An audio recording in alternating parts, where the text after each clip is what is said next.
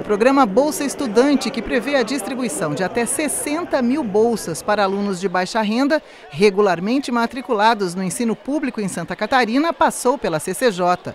A ideia é incentivar a permanência na escola, já que muitos alunos precisam trabalhar e acabam deixando de estudar. A proposta recebeu emendas. Uma delas estabelece prazo de vigência até o dia 31 de agosto de 2024. Agora, o projeto segue para as comissões de Finanças e Tributação e Educação. O objetivo do projeto é incentivar alunos né, é, no ensino médio de famílias é, que tenham vulnerabilidade social, para que esse jovem curse todo o ensino médio com um incentivo aí em torno de R$ 6.400 anuais em parcelas é, mensais a serem pagas para que o aluno permaneça tenha assiduidade e, mais do que isso, ele tem a obrigação também de passar do ano, de ser aprovado, para que no ano seguinte ele possa continuar recebendo essa bolsa.